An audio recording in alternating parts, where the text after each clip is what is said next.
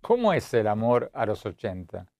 Igual que a los 50, pero con una sensación de urgencia. No tienes tiempo que perder. Cada día cuenta, Andrés, cada día. Entonces yo me lo imagino esto como esos calendarios antiguos en que tú sacabas una hoja por cada día. Entonces yo digo, bueno, cada día es una hoja que saco y esa hoja no vuelve más.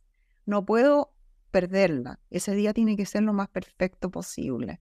Entonces no hay tiempo para peleas chicas, para intolerancia, impaciencia, celos, todas esas cosas que ensuciaban la relación cuando yo era más joven. Ahora no hay tiempo para eso.